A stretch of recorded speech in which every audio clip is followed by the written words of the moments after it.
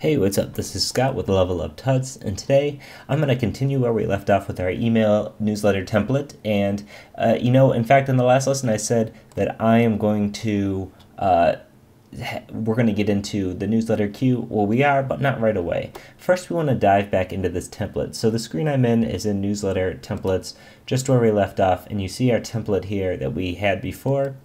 And uh, as you remember, our, this is our template name. This doesn't really get seen by anybody. The uh, template subject, hello from Level Up Tuts, this is what your users are going to see in their inbox, as well as the sender name and sender email. Let's preview this again to remember what it looked like. Here it is, just like we left it.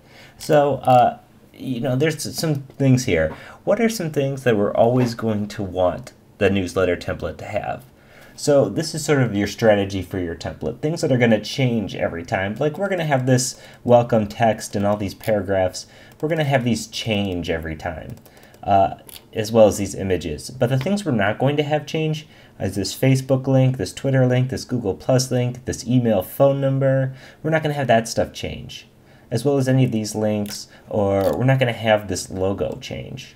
So anything that's not going to change from every time you send out your template, you're going to want to uh, create in your template itself. So uh, you're going to want to change here so that way when you you know create an actual newsletter, you don't have to add these things in every time and replace them. You just have them, okay? So I want to replace this image with our logo. So let's go to the show hide editor. Let's scroll down here and we can find this image right here and I'm just going to delete this, but I'm going to leave my cursor here. I'm going to insert an image, and that image is going to be uh, this logo. I'm going to insert the file. And you can see it has this Magento and specific tag. And now let's go show hide editor. Okay, now let's preview the template. And for some reason it still thinks it has this other logo there. I'm not quite sure why that is. Um, let's check back the show editor. Maybe it's because we haven't saved it. Um, so let's go ahead and save this template. No, I want to, uh, I'm cancel, sorry. I want to save template, not save as. Save as is creating a, another template. And now let's just come back in here. And one more time, I'm going to click preview again. I don't know if something's getting messed up or what. Perfect. Okay, so now our logo's in here. However, there's some funkiness going up here with the Zurb emails. Sometimes Magento, what it's trying to do is it uh, is adding this like title tag, but the Magento editor doesn't really understand any of that stuff, so it converted it to a p tag. So I'm actually just going to go ahead and delete everything before the initial table tag, and that way we won't have those problems anymore preview it once. Uh, let's close this one out. Preview this once more. Well, you get the idea because it's clearly not showing you the updated ones. So that image is going to be there. And let's scroll down here. We also want these links to be changed. So you'll click the link button, and right now it's just set to a pound sign. Uh, we could find the Level Up Tuts Facebook. Level Up Tuts. And Okay, here's her Facebook. Yep, yep, yep. Okay. Uh, I'm going to paste this URL in here, update this, and you can go through and do that for all of these. Likewise, I could put my phone number and my email in here, and these are things I would want to save. So let's click Save Template, and we're ready to get our newsletter queue started. So uh, you'll notice there's action right here. You can see preview, and it's going to open up a preview like before, or you can click Queue Newsletter. So let's click queue newsletter and what this is going to do is queue a newsletter from this template. What that means is it's going to take this template and it's going to have what's called a queue, which means that you set uh, when this template or when this email is going to get sent out. You'll notice this queue date start is when uh, it's going to get sent out here. So if we have it sent out tomorrow, uh, you can even set exactly what time. And here we have our editor. Now, if you're more comfortable editing the HTML like I am, I would say go and do that because this way, if you're editing the HTML here, you're going to know um, exactly what you're deleting um, in, in keeping, you know, uh, whereas if you're editing this WYSIWYG, who knows, you delete something too much and, and sure enough, maybe like a, a header tag is gone or something. So uh, I would go in here from your HTML and I would edit this. And if you're not familiar with HTML, it's not too hard to like tell what's going on here. You can do a search and find for whatever text you're looking to replace and, and replace it that way.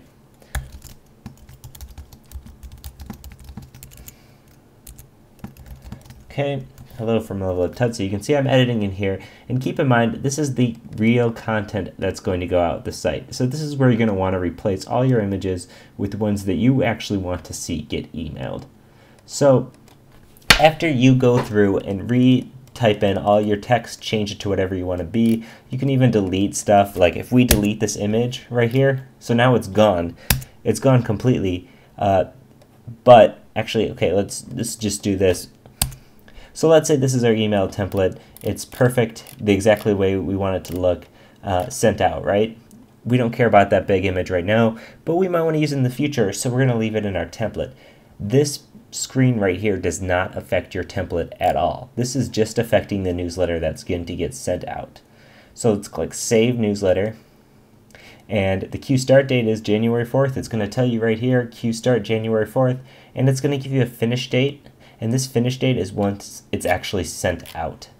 That's what that is going to be. So it's going to update it after January 4th to tell you uh, if it was processed for how many recipients and everything like that. And the status so far is not sent uh, because it hasn't been sent yet, uh, because it's not January 4th. So let's actually click preview here. Um, oh, great, I got a pop-up block. Okay. Okay, preview.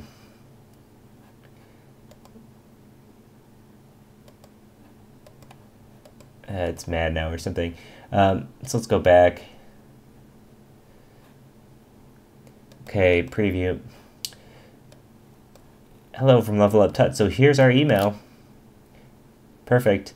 And see, you know, when I actually changed that link, I changed it through the WYSIWYG and in exactly what I said about it possibly changing code. Uh, it did. So now this Facebook link looks terrible and we are better off just going into the HTML to edit that in the first place. Uh, but for whatever, it doesn't really matter right now. This email template is going to go out. And if you wanted to change it before it's sent out, you can come in here and change it. Let's say I really messed up that Facebook button. Um, I want to go fix this. So this had this social button class on the anchor, and what I'm guessing is that this class just got removed when I changed the link. So social button, and I'm going to guess this is FB, although, you know, could very possibly not be. Um, of course, we won't see it in this interface. Let's save the newsletter. But either way, this is all happening before it's sent out. So it doesn't matter. We preview this. Facebook's back.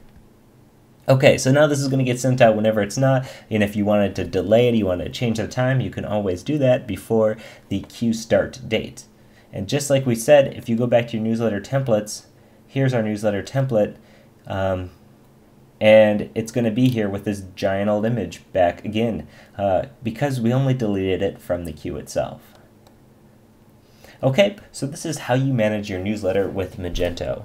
There's a lot of cool stuff you can do with it. You can have different templates, different queues. You can you know just uh, change as much as you want, but you always keep it simple and do what we just did here. Have a template, uh, change it up for the queue, and send it out that way. As always, if you have any questions, please leave a comment in the video or hit us up at Twitter, Level Up Tuts, and we're also on Facebook slash Level Up Tuts, I think it is. Um, either way, you just saw the uh, URL in this video. So check us out. Uh, let us know what you think. All right, thanks. Bye.